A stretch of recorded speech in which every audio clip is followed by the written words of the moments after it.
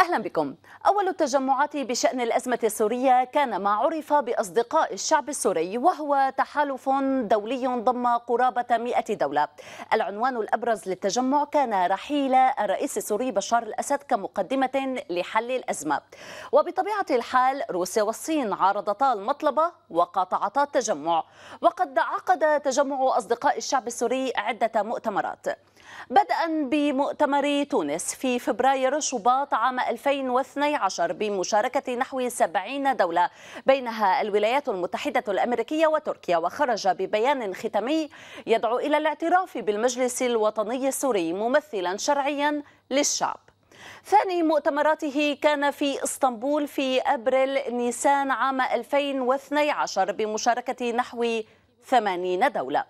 أما ثالث مؤتمرات التجمع فاحتضنته العاصمة الفرنسية باريس في يوليو تموز عام 2012 بمشاركة نحو 100 دولة بينها الولايات المتحدة الأمريكية ومعظم الدول الأوروبية وعدد من الدول العربية.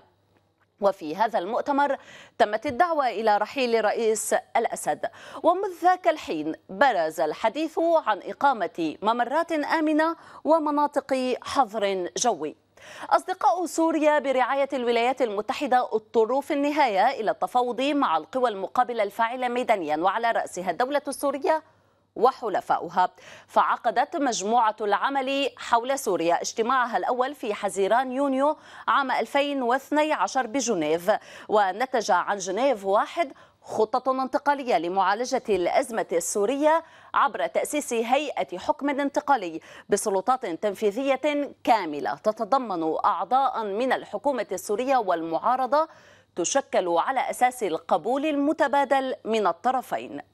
وفي كانون الأول ديسمبر عام 2013 أعلن المبعوث الدولي للأمم المتحدة الأخضر الإبراهيمي قائمة الدول المشاركة في مباحثات جنيف اثنين واعترضت الولايات المتحدة الأمريكية على مشاركة إيران فسحبت دعوة إيران لحضور المؤتمر.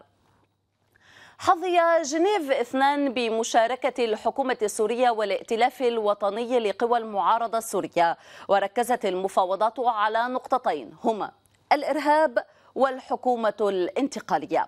وبعد فشل جنيف اثنين عقدت محادثات فيينا واعتبارا من تشرين الثاني نوفمبر عام 2015 عرفت باسم محادثات المجموعة الدولية لدعم سوريا والتي تتكون من 20 مشاركا أبرزهم من الصين وروسيا وأمريكا ومصر وإيران والسعودية وتركيا.